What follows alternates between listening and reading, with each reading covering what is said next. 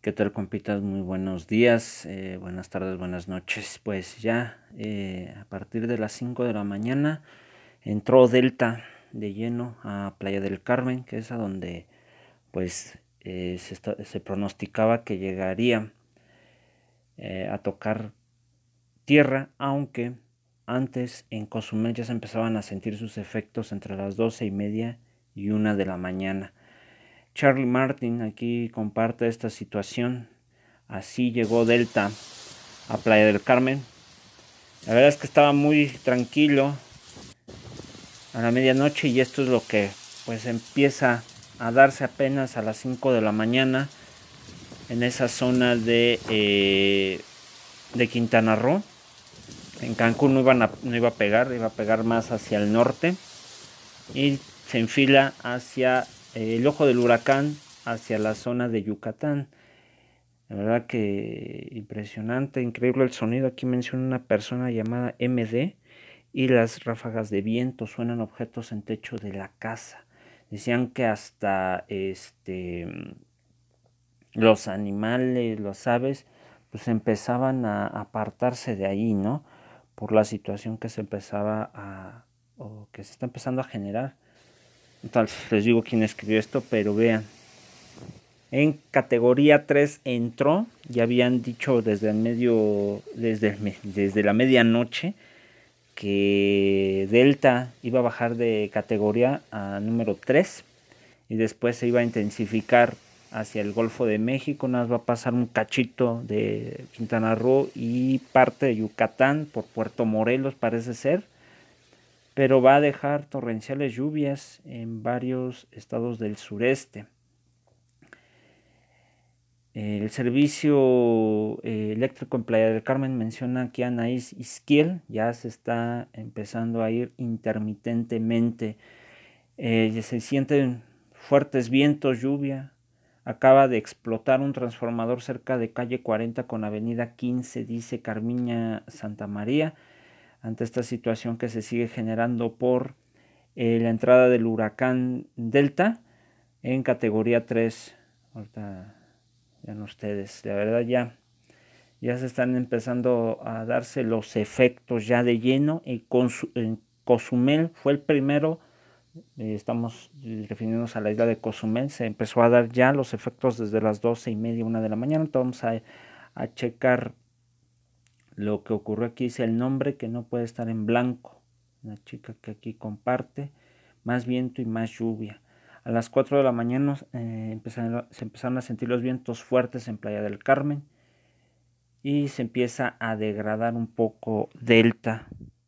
Que bueno, eh, compas, pues se, se, pensaba que iba a llegar de categoría 4, pero parecer disminuyó hay hasta fotografías de esta situación, se ve impresionante eh, la entrada de, este meteoro, como le dicen. Por cierto, hablando de meteoros, en Monterrey se avistó un meteorito, un cometa. No han confirmado si es basura espacial u otra situación en la ciudad de Monterrey, Nuevo León. Vean ustedes, ya se empieza, ahí se ve cómo empieza a sonar los fuertes vientos, las rachas en categoría 3 del huracán Delta, obviamente pues iba a haber daños, probablemente inundaciones, ojalá que no sean muy severos. Los, los peluditos en Cancún, en Playa del Carmen, pues parece ser que hubo personas muy buenas, de verdad, buenas personas, que los perritos peluditos, como les hemos dicho, que estaban en condición de calle, pues encontraron por lo menos un refugio. Y personas, les digo, que pusieron su casa, ahí los empezaron a, a meter. Los delfines que estaban en el delfinario, no, pues no encontraron un lugar cómodo, tuvieron que meterlo en una alberca del hotel. Ay, las condiciones que están viviendo. Eh, y, se van a... Y lo que va a pasar, compas, bueno, esta persona que compartió antes de irme, Roch, Rochex R. Robinson Bonilla, creo que ya lo habíamos compartido hace mucho. Eh, Alfonso Lara. A esa hasta se lo manda la. De ahí se fue la luz. En un momento se va la luz con esta tormenta eléctrica. Obviamente trae pues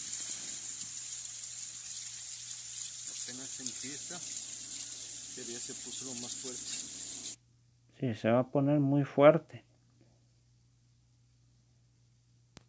Eh, ahorita vamos a cortar esta transmisión, no vamos a pasar esto. Vamos a, ahorita vamos a decir que, quién hizo este video. Ahí. Como les digo, entró desde entre las 4 y 5. A las 5 ya entró con más fuerza. Es oficialmente cuando entra ya. Y ahora nada más falta ver el ojo del huracán. Eh, si ya más o menos entre las 6 y 7 de la mañana. Obviamente vamos a, estar difundiendo. Probablemente pues vaya a haber eh, daños y a partir de las 7, 8 de la mañana que se empieza a dar los estragos. Ojalá y no. Lo que sí es que no va a haber luz durante casi parte del medio mediodía, digamos. Entre las 5 de la mañana hasta las 12, 1 de la tarde.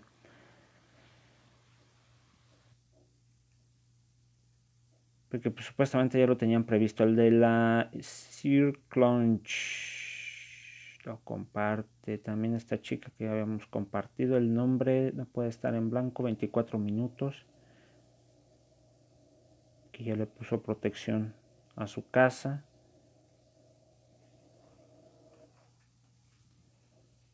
vean cómo hay las, las rachas del viento bueno los vientos son impactantes, están entre calle 30 y avenida 30 Nechin. Es impresionante el sonido del viento. Ya bajo a categoría 3, indica Sonia López Cardiel a través de esta aplicación.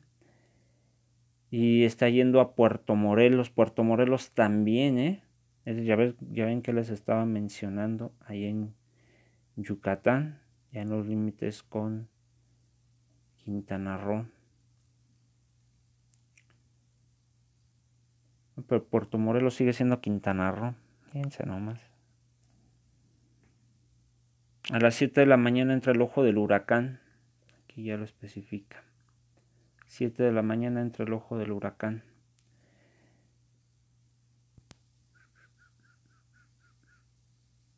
Luis Elizondo. Con qué intensidad.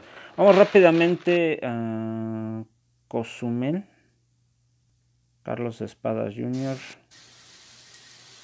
Siguen las torrenciales lluvias. Desde las doce y media una empezó a entrar este huracán. A las 5.20 de la mañana en Mérida. En Mérida también. Allí en Yucatán está empezando a entrar lo que es, no voy a decir la cola, lo que es eh, esta parte del huracán que pues también va a provocar esta situación. Por eso es bien importante, compas, que se sepa la importancia de los manglares para que estas lluvias no sean tan fuertes o la velocidad del viento no sea de esta manera. Luis Coca comparte lo que sigue pasando en Cozumel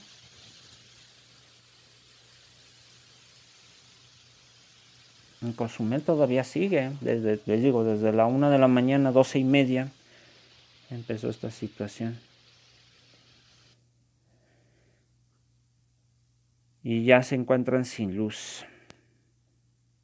A las 3 de la mañana se encontraba a 30 kilómetros de Cozumel el huracán El Ojo. El Ojo que todavía, pues les digo, va a entrar eh, de lleno a las 7 de la mañana va a tocar tierra. Israel Herrera hizo una transmisión de esta situación que uh, se generó, pero pues no lo podemos ver completo.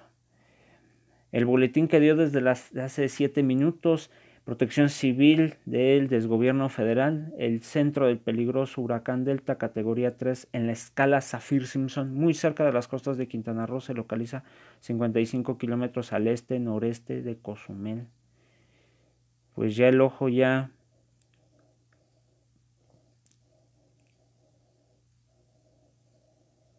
ya, ya se encuentra cercano a Cozumel. Obviamente está, está yendo hacia una dirección Probablemente, compas, probablemente vamos a tener lluvias eh, parte del fin de semana. Hay que checarlo y me refiero a los que vivimos en el centro del país, que no especifique. Reportan varias zonas sin energía eléctrica. Alerta verde, peligro bajo para el centro y sur de Campeche. Alerta azul al suroeste de Campeche. Alerta amarilla, peligro moderado al este de Quintana Roo, norte y este de Campeche. Alerta naranja, peligro alto, noroeste, oeste y sur de Yucatán, oeste y sur de Quintana Roo. Alerta roja, centro y norte de Quintana Roo, norte, centro, este y noreste de Yucatán. Ahí sí, al pendiente. Les voy a decir a ver si aquí aparece la zona. Ah, categoría 3, si empieza a haber oleajes de hasta 1 o 2 metros de altura. En Cozumel, 2 a 4 metros en las costas de Yucatán.